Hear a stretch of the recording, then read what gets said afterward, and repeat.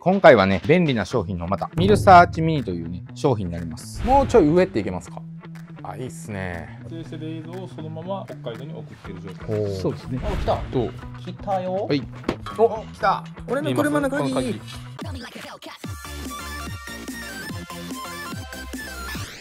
お疲れ様です。今回はね、便利な商品のまたご紹介ということで、ミルサーチミニというね、商品になります。まあ簡単に言いますと、こういうね、カメラですね、Wi-Fi で接続などができるんですけども、まあ、その辺は後で詳しくやっていきます。で、今回は皆さん知る人ぞ知るジェフコムさんからの商品紹介案件なんですけども、結構あの、ジェフコムだったり、デンさんだったり、皆さんいろんな名前で覚えられてると思うんですけども、まあいろんなね、歴史とかあると思いますんで、今回はジェフコムさんに来てもらってます。どうぞ。お願いします。えー、ジェフコムの今井です。よろしくお願いします。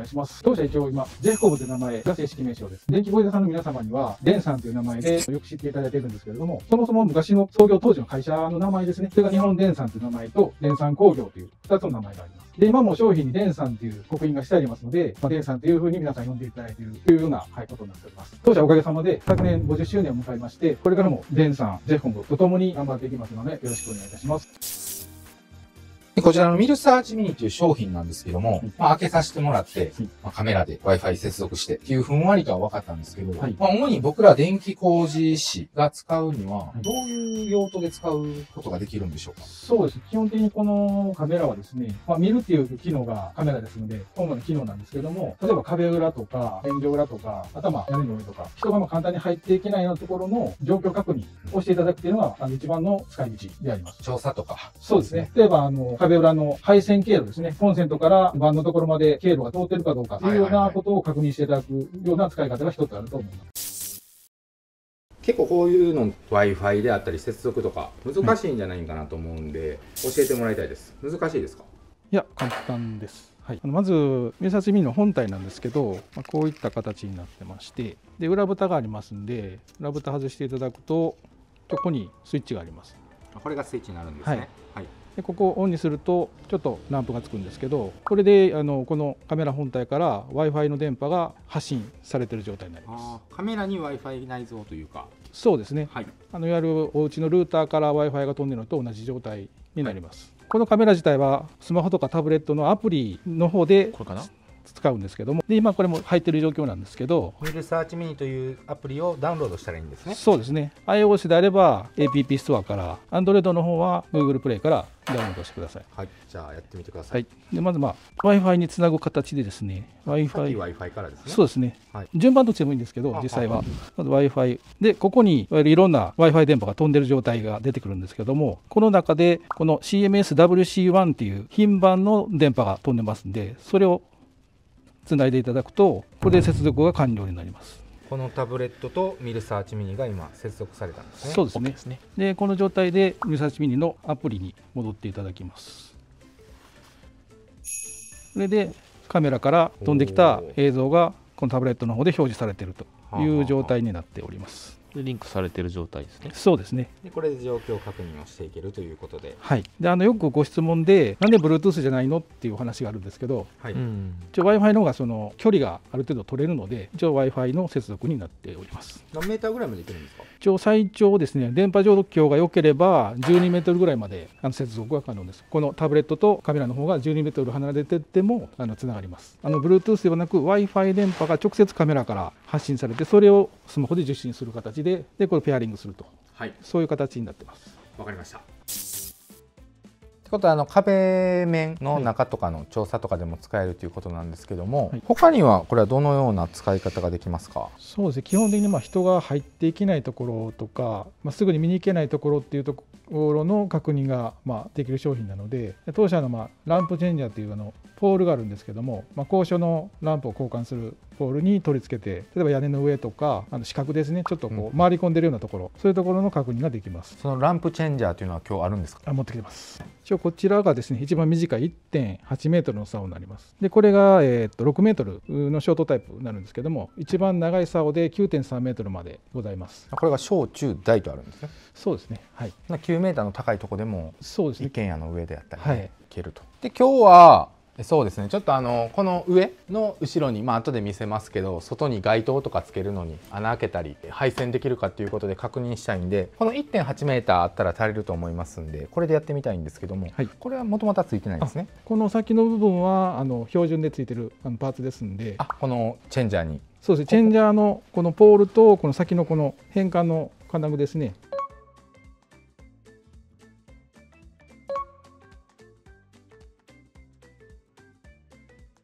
ですね。これで付け替えができます。であの長い竿にも同じあの金具になってますんで取り取り付けができますこちらも。これ以外は何に使うんですか？何があるんですか？ランプ交換と火災報知器のあこういう交換ですね。はい。はいはいはい。そういったことに使えます。はあはい。まあ、今回はこのカメラバージョンですね。そうですね。つけていただいてはい。で本体を取り付けます。高いとこですね、ちょっと下向きにしていただいた方が使いやすかと思います。えーポールで使う場合は、こういった構成になるんですけれども、とポール部分と黒い金具部分はまた別売りになってますので、あのポール持ってる方は追加でこの金具をご購入ください。でこちら先ほど撮ってた反対側いわゆる正面玄関外に来たんですけどあそこに街灯が見えてるんですけども、まあ、例えばこういう風に街灯をつけたいとでこれまた反対側に戻ってきたんですけどあのシャッターボックスの上にまあ穴を開けて配線をしたり街灯を取り付けたりするっていう形になるので、まあ、脚立などはしごなどがあれば登ろうと思ったら登れるんですけども、まあ、調査でどんな風になってるかっていうのを先ほどのランプチェンジャーを使って見ていきたいと思います。ってことで実際に上の状況を見てみましょう。まあ、障害物がないかとか危険なものがないか。今その辺をそこで止まっとってくださいね。今この辺を映しててこういう風に PF 感があるよなどそのまま右にちょっとゆっくり行ってもらって。であこの辺狙えるなと。ここに電線が走ってるなと。もうちょい上っていけますか？あいいっすね。うんうん。これ柱があったりとか、うんうん。で今井さんこれなんですけども、例えばまあこの今職人がいますと、はい。でまあ会社の方と確認し合いたいリアルタイムにっていう時って。一応ですね遠隔臨場というふうにも言うらしいんですけどもいわゆる現場の方と例えば会社の事務所の間で、まあ、状況を確認するために映像とかでつないで、まあ、指示をしたりとか、まあ、コミュニケーションを取るという方法ですね。で一番簡単な方法はまずスマホのモバイル通信で映像通信アプリですね。例えばあ FaceTime とか Teams ですね。あと Google Meet みたいなあのアプリを使っていただいてでそれらは全部画面共有の機能がありますんでその機能を使ってお互い同じ画面を見るということができます。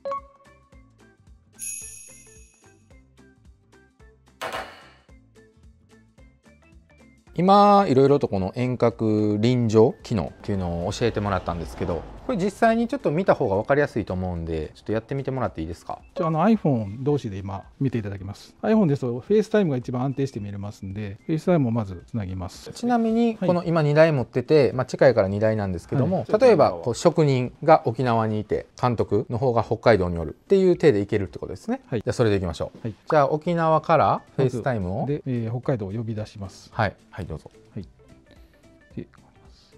これは単純に FaceTime をかけてるだけですそうですね。ね今。今呼び出しています。はい。で来ましたんで。かかってきたと。はい。ですね。で一応参加。はい、押すと一応これでつながった状態になります。テレビ電話されてる状態ですね。そうですね、はい、はい。で次はこちらの携帯の画面共有機能を使ってみるサーチの画像をこちらへ送ります。沖縄から。今はモバイル通信使ってますので w i f i の方をですねオンにしてもらってで今カメラと今接続をしております、はい。この状態でミルサーチミニのアプリを立ち上げます、はい。はい。今これを映っております。でこれをまず画面共有するわけですけどもここで画面共有ボタンを押すと画面共有タイムのはい。機能ですね、これは。そうですね。はい、画面共有というのが出てきますんで、はい。ここで画面共有します。こミラーリングされるんですね相手と。こでまたえミルサーチミニの画面に今もう一個の携帯はどうなってるんですか？今これで共有できていると。今あちょうどここにほうほうほうほう。出てきてます今ちょうどこれで2台のカメラがつながって。撮影してる映像をそのまま北海道に送ってる状態そうですね。はい。じゃあちょっと僕の方でこれ上の現状確認を上司に送りたいと。ほうほうほう。上司の方から指示ができるんですね。そうですね。じゃあもうちょっとあ右の方を見ていただけますか。おおあそこでストップしてくださいでこの時にはい。撮影したりできるんですか？ビデオ撮ったり、撮影はあのこっちの端末の方で録画ボタンを押していただければそこですね。はい。それ今のとこ撮っといてくれみたいなのを。そうですね。録画ボタンを押せば、あ。スタートするんで。リアルタイムでも見れるし、はい。こうやって録画データも後から、まあ、他のお客さんに共有したりもできると。そうですね。現場の下見とかの映像を残していただいたり、写真は？写真は隣のカメラボタンですね。はいはいはい、はいの画像データとしても保存できるよとはい。いうことですね。はい、はい、ありがとうございますランプチェンジャーの使い方を教えてもらったんですけど、はい。他にもなんか使えるものってあるんですか？一応まとめがこれになるんですけども電気工事で主に使う配線座を、まあ、ケーブルフィッシャーと当社は呼んでますけどケーブルフィッシャーとかあと釣り名人ですね。ロッドのタイプ。あとは、えーまあ、先見ていただいたヘルメットとかあとはこういう高いところ見るためのポールですね、まあ、ランプチェンジャーっていうものに主に使ってます。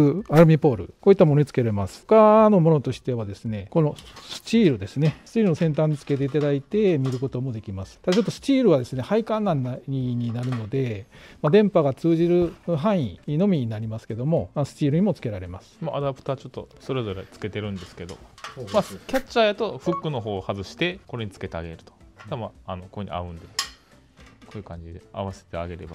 いろいろに作れるってことうですね。ん。そうですね。他のワイヤレスカメラと何が違うかっていうとこのポイントが唯一の違いになります当社の工具につけれるっていうところが、まあ、このカメラの唯一の特徴というかあのこのミルサーチミニですけどもあのワイヤレスカメラっていうのはあの世の中にたくさんあって他のカメラと何が違うんかっていうところですけども当社のですねこういった工具と取り付けできていろんな場所で使い道があるっていうところが大きな違いです。ということでまあ今いろいろ見せてもらったんですけどまだ他にも何かしらあるんですよねつけれるやつがね。ちょっとその辺はね今日現物がないのでまた後で画像データでピロンって載させてもらいますので、はい。ご参考にしてください、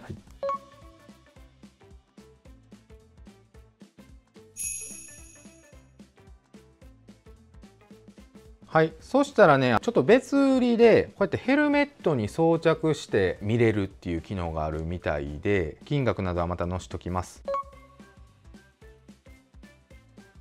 ちょっと装着してみましょうか、はい。どうやるんかな？まあ、こっち上なんで上下合わせてもらって、もうこのチョボで固うん定、ボルトでも締めていくだけですね、はい。こうギューッと。こんな感じで、ほうほうほう、まあ、結構自在に動くんではい。角度決めてもらって見えてるんかな。こんな感じで。まあ、今こういう状態ですね。ならちょっとねこういう高所とか、まあ、さっきと同じようなパターンになるんですけどももう一人の監督であったり現場に入ってね間もない新人さんとかまだね登るんが危ないんでベテランの職人さんがこうやって上に行ったりしてもうちょい下でこんな感じ。あそこら辺右左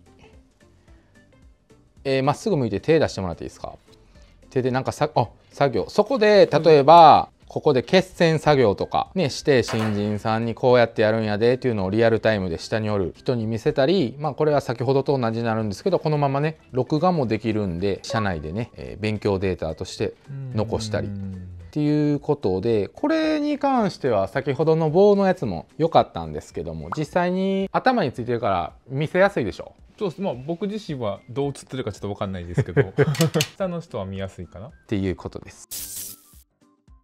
えー、ってことで実際にねケーブルの入線、まあ、これだったらダウンライトからダウンライトへの渡りだとか、まあ、新しく増設とかで穴を開けたけどちょっと配線に難儀をしててこの状況を見ながらやりたいということでやってみようと思います。ってことで増田2期側からあややんの方へフィッシャーフィッシャーにもつけれるってことなんでフィッシャーにつけてこれ先っぽにねこのケーブルを引っ掛けるまあ、フックもともとついてるフックを先に間まあカメラ入れて先っぽにつけ直してるって感じですね。はい。じゃあやってみましょう。なんでモニターだけ見てやってみたいと思います、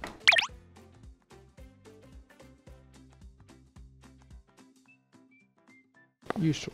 お手見えます？これ映るかな？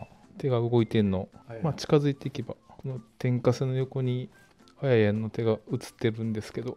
天かせは見えるね。天かせにちょっと右を今行ってるぐらいかな。そうですね。天かせの右こう。う天かせになった。どうですか？これ手見えてないかな？ほら。あ見えた見えた。おお見えた見えた。何本でしょ天井から手が生えてる。な その手を狙って。そうですね。そのままもう狙っていけば。今ゴールに近づいてきました。あめっちゃ見える。うお光見えた。今手が見えてますね。もうこれで終着点は近いと。はいどうぞ。お来た。どう？来たよ。はい。お来た。あキャッチ。最高見えた。いキャッチキャッチ。や全然あります、はい。あ顔まで映ってる。はいはい。来ましたよ。で今あそこに見えるように、えーミルサーチが出ましたんでここにそのままいつも通りケーブル VA つけてやっていきましょうはいオッケー。ここまで来たらカメラなしでもね OK るかな？そうですね。戻すときは大丈夫ですね。こんな感じで。はい。いけた。これでスムーズに入線を行うことができました。今ね無事入ったんですけど例えばこれね今こういう状況なんですけど、まあ、もっとやりやすいかなっていう方法があって、まあ、2人おるかねあっちにカメラを立てたためなんですけど、えー携帯のライトとかねポーチライトとかでもいいかな穴に入れてください。とはい。ほんならこれ見えますでしょうか？こうやって光が見えてるんであとはここを画面見ながら狙っていけばいいだけなんでやりやすいかなと思います。っていうまあテクニックといいますかやり方もあるんでいろんなやり方やってみてください。さっきの、まあ、ちょっと付随というかこういうアタッチメントマグネットのアタッチメントもある入っているので、まあ、こういう今回鍵でやるんですけどこういう隙間とかにちょっとあっって落としてしまった時にカメラがあるんでほうほものを見ながら実際ものを探しながら。それ拾ってくれんかったら俺帰られへん。お来た。俺の車の鍵。この鍵。見えたね。このこち左。うよっしゃ。お来たらきてんちゃいますこれ。しょ。まあこれはね電気工事だだけじゃなくていろんな人に使えると思うんでもし困った人がいたら助けてあげてください。はい。出たー。帰れるこいいれですね。こういう感じでまあビスとかね、うんうんうん。大事なものを落とす時に拾えると思いますどうしても開けられへんグレーチングとかね溶接されてたりしてねそういう時とかこういう便利いいですね。機能もあります。はい、ありがとうございました。ミルサーチミニ面白かったですね。ありがとうございます。まあ、結構いろいろこう実践的なことを今日はやらせてもらったんですけど、はい。他まあな何か伝えきれてない特徴とかってありますか？そうですね、充電がですね、このここからするんですけども、こちらの口があの C タイプになってまして、反対側があの A タイプになってます。で、あの充電自身は100分充電、ライトオフで稼働時間がだいたい100分、はい。でライトをオンにした状態でだいたい60分の稼働時間になります。5ボルトの1アンペアなんで、モバイルバッテリーでも充電ができます。まあ、現場で充電がなくなってもモバイルバッテリーさえ持ってればそうですね。すぐ充電できるとですね、はい、あとあのこのキャップをきっちり閉めていただければあの本体自体は IP64 の防水機能ありますんで水洗いしていただいても現場ではちょっとあの中に壁裏入れて汚れてしまっても水洗いしていただいたら全然あの洗えますんで。ちょっと結露してる場所でも問題ないというか。あ、まあ、濡れてるところってですね、ははい。い大丈夫です。あの水没しない限りは w i f i 電波通りますんでそこは大丈夫です。ってことでまあこう小型でね、はい。まあ、充電もモバイルバッテリーでできたり結構今日使ってみて便利だったんですけど、はい。まあやっぱ悪いところもあるとは思うんですけどそうですね。デメリット面で言うたら。まずはあのあの見ていただいた方に必ず言われるのはこの形ですね。ここに取り付けますんでこの出っ張りがちょっと引っかかるんじゃないかと。はいう懸念はよくあの聞きますので、はい。できる限りですねテーピングでちょっと穴埋めしていただいてやっていただければ大丈夫かなと。はははい。対策法ということですね。そうですね、はい、ともう一つあの高圧の近くではですねちょっとあの使えない時があります。なんでですか？電波障害とかで影響があってまあ、使えない場合があると。バッテリー式なんですけど交換できないタイプになりますんで、あーはーはー。はい、内蔵式になってますんで交換ができませんのでこのお電池が終わってしまったらこの製品も使い終わりとはいいうはいような形のところが、まあ、デメリットではあります。W i f i で使ってますんで配管内ですね。とか鉄管とかでしたら w i f i の届く範囲までは通信できるんですけども中の方を入れていくと電波途切れてます途切れてしまうのでそこはちょっと苦手な分野ではあります。じゃあまああの12メーターって書いてましたけど、はい。鉄管とかであればもうちょっと短くなる。そうです。ねかなり短くなるんじゃないかなと、わかりました、はい。ありがとうございますお疲れ様でした。お疲れ様でした。えーミルサーチミニ使ってみてどうでした？あの思ってたより画質が綺麗やなっていうのはうん。正直思いましたね、あと結構リアルリアルタイムでラグとかもなくライトがついてるんで暗いとこでもそのまま見れるかなっていうのは思いました。まあ、今後も何かと使っていけそうやなと、そうですね。調査とかではい、使えると思います今日は現場トラブって遅くなったやんすいません途中おさ疲れでした。お疲れ様です。まあ最後のダウンライト編で、はいあの実際使ってみてもらったんですけど、はい。どうでした？あの初めてにしてもらったんですけど結構画質も綺麗かったのとあとまあ録画と静止が撮れるっていうことなんで僕ふっと思ったのがその住宅とか一体所周りとかちょっと回路増やすことあるんですけどどうしても床下回ししたい時があってそういう時にいちいち奥まで入っていってとか、まあ、今まで通りフィッシャーの先に iPhone ビニテープでぐるぐる巻きして録画してっていうのやってたんですけどこれやったらそんなことせずに、まあ、コンパクトなんでもっと楽に調査できるんかなと思ったんでそういう使い方もありかなとは思いましたけどね。iPhone 壊れたら怖いですしねそうなんです。これ頑丈ですもんね結構ね はい。ということでまあ今後はそういう形ではい。使ってみようかなって感じですねそうですね。はい。またよかったらインスタとかであ、はい。使用したら載せてくださいそうですね。使ってこんなん使いましたっていうのをあげたいと思います。はいありがとうございました、はい。なります。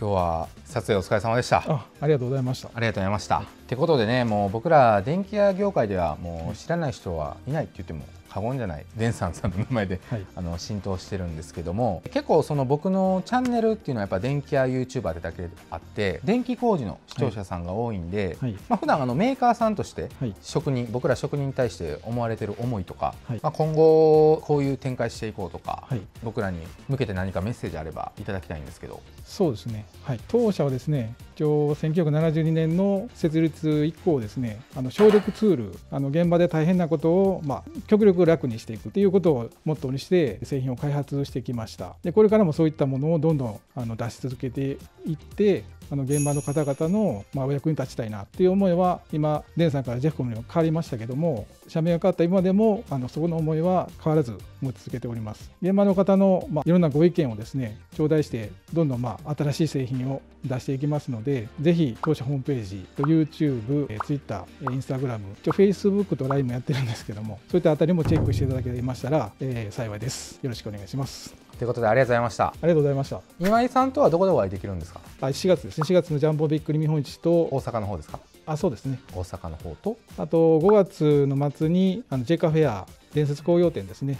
それから今回はインテックス大阪の開催になりますんで、そちらでも駒にずっとおりますんで、ぜひお声掛けください。ってことであの視聴者さんあのジェフコムさんに対してね質問とかはい、何かこう改善点はい、とかあれば、まあ、YouTube のコメントであったり SNS はい、で実際にね展示会に来られたら、はい。今井さん宛てにねミルサーチミニの感想とかね他にこんなん出してほしいとかはい。言ったら、まあ答えてくれるかもしれないということで。そうです、ぜひ。はい。あと一点あの SNS でですね当社が全然反応してないっていうお叱りをいただきましたので あの今年からちょっと強化しまして体制を。はい、はい。できる限りお答えしていきますんであ。のコメントをたくさんお寄せください。今年から返事もはい。なるべくっていうことなんで、そうですね。何かねこう意見ある方はどしどしメッセージを送ってください、はい。伝え残すことはないでしょうか？はい。大丈夫ですありがとうございました。ありがとうございました。